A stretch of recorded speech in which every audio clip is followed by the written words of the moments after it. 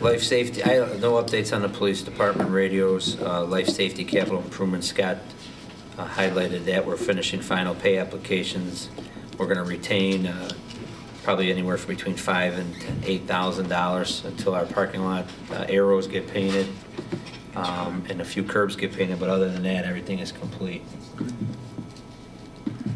Any questions on that? Uh, What about the stuff for next year? Is there going to be an update on that, or for this summer? Uh, Yes, but we don't have any major projects planned for this summer, just all Joel's stuff that Joel's Okay, doing that's right. subcontract. Okay.